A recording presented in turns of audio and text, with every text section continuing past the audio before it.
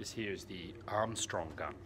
It's one of the first pieces of artillery that we had in Australia. It was purchased by the uh, Victorian colony in 1864 uh, from the motherland, Britain.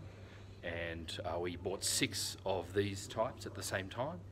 Uh, fired by, you inserted in the back here through a vent uh, your uh, cartridge and then the, the barrel is rifled and then you would wind and, and fire it and it, it uh, went for about 2,000 yards, which these days about 1.8 kilometres. So still relatively good distance, but nothing compared to those huge guns that are outside.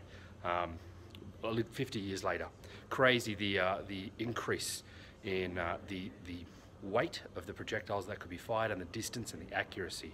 We saw a huge increase leading up to and including World War One uh, in what artillery could do and just how devastating they could be.